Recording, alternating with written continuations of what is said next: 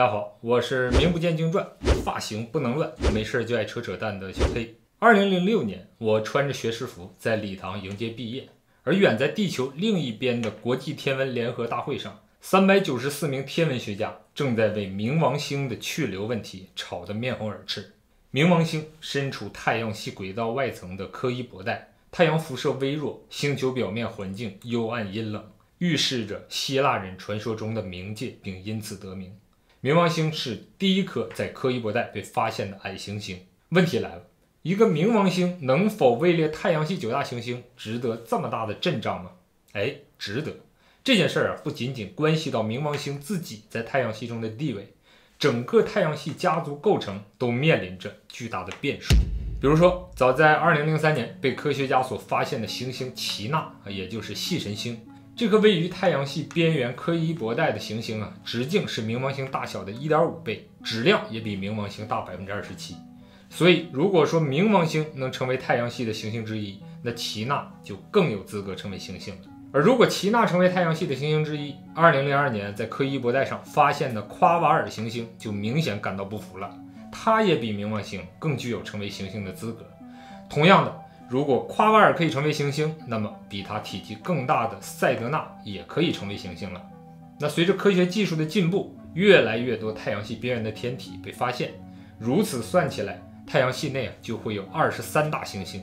因此。天文学家们就在捷克首都布拉格举行了这次国际天文联合大会，最后通过投票的方式，以二百三十七票对一百五十七票通过了决议，冥王星被降级归为矮行星。至此，太阳系八大行星的成员正式被确定。太阳系的八大行星中，绝大部分的行星都是通过意外观测发现的，但海王星是一个非同凡响的例外。一七八一年的三月十三日，威廉·赫歇尔在英格兰的家里的庭院当中观测到了天王星。四十年后，法国天文学家亚里斯·布瓦尔根据牛顿的理论推算出了天王星的轨道表。但是在随后的观测中，却发现天王星的轨迹与表中的位置偏差越来越大。科学家们推测是另外一个未知的行星影响了天王星的轨道。一八四六年，法国工业学院的天文学教师奥本·勒维耶经过一系列复杂和完美的计算，推算出了一个结果。随后，他就给德国的天文学家约翰·格弗里安·加勒写了一封信。九月二十三日，加勒收到信的当晚，就把柏林天文台的望远镜对准了勒维耶预测的方位。仅仅用了不到半个小时，就发现了一颗星图上没有记录的八等小星——海王星。就这样，在一夜之间被发现了。更重要的是。在发现海王星的那一刻，清楚地证明了一件事情，那就是可以使用数学来发现天体。发现了海王星之后，天王星的轨道偏移就有了解释，但是呢，却并不完美，仍然存在一些异常。科学家们由此认为是另外的一颗行星对天王星产生了微弱的影响所导致的。他们把这个天体称为行星 X。天文学家们在过去一直认为，在海王星外存在新的行星可能性是非常小的。因为这个区域的物质呢太稀薄，想要孕育出一颗大行星需要的时间太过漫长。不过，宇宙中实际上存在着非常多流浪的行星。如果假设太阳系是从茫茫宇宙中罗列了一颗这样的太空流浪汉，这是有可能的。那接下来的几十年中啊，天文学家们经过了数百次的计算和尝试寻找这个失踪的行星，却没有任何的结果。直到1989年，旅行者二号探测器证实。之前呢是天文学家对海王星质量的估算错误，导致了计算结果的偏差，有点让人失望。但是啊，这种天体偏离预设轨道的情况，在今天的太阳系中仍然存在。在海王星的外侧，就是黄道面附近的天体密集圆盘状的区域——柯伊伯带。由于现代望远镜的发展，天文学家们在柯伊伯带中陆续发现了数千个小型天体。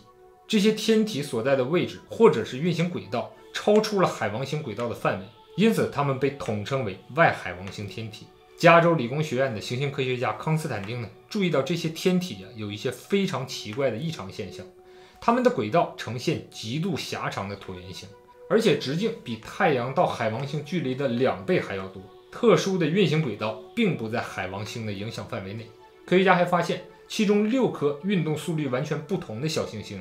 运动轨道却拥有着相同的倾角，因此科学家认为是行星 X 的引力对这些小行星造成了影响。因为如果没有这个外力的影响，这六个轨道异常的小行星出现的概率只有十万分之七。如此微小的概率，恰好意味着行星 X 所存在的概率非常高。除此之外，在柯伊伯带中有着超过十亿个一公里以上的小型天体碎片，所有的这些微小天体碎片的轨道倾向于以一种非常特定的方式进行排列，它们同样有着超远距离的近日点，而且这些天体似乎并没有把海王星放在眼里，它们几乎脱离了海王星的轨道，这是非常奇怪而不符合常规的现象。除非是有一个较大的天体将它们拉向同一个方向，而且其中的一些天体轨道严重的偏离黄道面，几乎能够倾斜到九十度，这就意味着必须有强大的外力参与才会出现这样的情况。正是因为这些力学的奇怪现象，让大部分科学家坚定地认为第九大行星是一定存在的，否则不是我们的物理规律有问题，那就是这个世界本身有问题了。加州理工学院的团队将收集的数据进行计算机模拟，计算出这个天体的质量大约是冥王星质量的五千倍，也就是地球的十倍左右，直径是地球的二到四倍，这使得它的重力能够主导太阳系的外缘。如果这个大家伙存在，它的一切性质都满足行星的标准，绝对有资格被视为太阳系的第九大行星。天文家还推测，行星 X 很可能是一颗冰巨行星。它的成分与天王星和海王星相似，由岩石和冰的混合物与一部分气体来构成。问题来了，行星 X 如此巨大，又几乎可以确定它在哪里，我们为什么还找不到它呢？首先，行星 X 拥有和其他外海王星天体一样狭长的椭圆形轨道，围绕太阳的公转周期大约是一万五千到两万年，距离太阳最近的时候也要二百八十个天文单位。也就是地球到太阳距离的二百八十倍，而远日点更是能够达到一千一百二十个天文单位。这是个什么概念呢？相比之下，遥远的冥王星的远日点只有四十九个天文单位，再加上行星本身是不发光的，距离太阳那么遥远，这就导致它在夜空中的亮度比海王星的亮度还要低上数百万倍。所以，即便是在现代的天文望远镜下进行观测，仍然需要一切条件都达到近乎完美。没有月亮。大气平静，光线不会受到丝毫的湍流影响。这样条件的夜空啊，美然美。这样条件的夜空每年都会出现，但是概率却很低，而且需要连续的这样的天气才能在浩瀚的夜空中进行扫描观测。从2017年到现在，加州理工学院的团队只进行过两次这样的连续观测。显然，这样的进展对于寻找行星 X 可能需要上千年。另外一个，人类总是荒谬的自认为。对于我们生存的太阳系非常了解，但实际上太阳系要比想象和了解的更加庞大的多。它封装了我们能够观察到的所有物体，这第九颗行星就是其中的一部分。它与太阳之间的遥远距离，使得它有足够的空间来隐藏自己。尤其对于以地球为中心进行观测的人类来说，不识庐山真面目，只缘身在此山中，是对事件本身性质最贴切的诠释。那么问题来了。要怎么样才能找到第九大行星呢？其实也不难，那就是给太阳系来一次人口普查。这就要仰仗一项即将上线的新设备。LSST 是大口径全天巡视望远镜的简称。全新一代的 LST 呢，正在致力调试和建造。它以一位开创了暗物质概念的美国天文学家命名，叫做维拉鲁宾巡天望远镜。维拉鲁宾望远镜按照收集的光亮和视野宽度来说，规模是目前现役和正在建造的任何一个巡天望远镜的十倍以上。我们可以把它理解成是目前人类建造的最大的数码相机。它的镜面直径八点四米，感光能力是人眼的一亿倍，照出来的全尺寸照片需要三百七十八台的四 K 电视机才能完全的显示出来。这使得它一次就能完成哈勃太空望远镜需要花一百二十年时间所做的工作，而且它在工作的第一个月所观察到的宇宙区域就将超过之前所有天文观测工作的总和。维拉鲁宾望远镜每天晚上能够拍摄一千六百张的图像，产生二十到三十 TB 的数据。它的主旨是揭开宇宙中的暗能量之谜，帮助人类深刻地理解宇宙的历史和未来的发展。望远镜将每隔一小时就会拍摄出整片天空的两张图像，这就意味着加州的天文学家可以根据光点的运动来区分出太阳系内微弱的恒星和其他的天体，更高效的去寻找第九大行星的踪迹。它带来的结果就是，要么发现第九大行星，要么发现使得外海王星天体轨道异常的更多其他的天体。除了被假定是一颗行星，也有科学家推测，这个天体呢可能是一个流浪的黑洞，它被太阳系拉拢入群，并搅乱了外围天体的轨道。这个黑洞并不是恒星死亡坍塌后聚集而成的，而是存在于霍金理论设想中的原初黑洞。霍金认为，原初黑洞是宇宙大爆炸后不久产生并遗留至今的文物。大爆炸之前的宇宙啊，被天文学家叫做原初宇宙。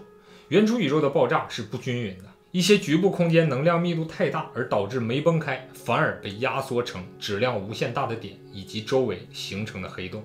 这种黑洞啊，大小不一，最小的可能只有粒子大小。一般的原初黑洞跟太阳系常见的小行星质量类似。这些黑洞啊，随后漂流在宇宙的各处，一些已经通过霍金辐射消散掉了，那另一些则吸收物质壮大存活至今。因此，有天文学家认为，海王星外天体的异常轨道以及一些引力事件，可以用质量为地球数倍的原初黑洞来解释。当然，原初黑洞同样是一个假设的概念，并没有被证实存在。大多数的天文学家认为这个假设太过大胆。对于第九大行星的存在，始终是存在争议的。美国天体物理学家伊森·西格尔对太阳系中存在尚未发现的行星持怀疑态度，但是他推测太阳系中呢至少有一颗超级地球。这种星球在其他的行星系统中非常的常见，但是在太阳系中却还没有被发现。超级地球可能在太阳系早期的动力不稳定的期间已经被弹射到了宇宙的空间当中。不过，这种概率经过计算只有百分之二左右，也许它还隐藏在太阳系我们观察不到的某个角落当中，干扰着这些柯伊伯带的小天体们。对于第九大行星究竟是否存在，你有什么看法？请在评论区留言，和大家分享你的观点吧。严格上来说，第九行星并不是学术上正式的名称。这个假说最初被提出的时候，天文学家以干扰者来称呼这个天体。那根据国际天文联合会对于天体命名的规则，如果第九行星的存在得到证实，将优先考虑以发现者提出的名字作为正式名称。那依照以往的惯例，名称也有可能取自罗马或者是希腊神话中的人物。所以说，在座的各位还有机会，如果谁能确切的证明第九大行星的存在，很可能在以后的太阳系中就会有一颗以你的名字命名的行星。想想还是非常酷的。大家努力吧！好，我们今天就聊到这儿。如果你喜欢我的节目，请关注订阅我的频道，点赞、评论、转发。我是小 K，下期再见。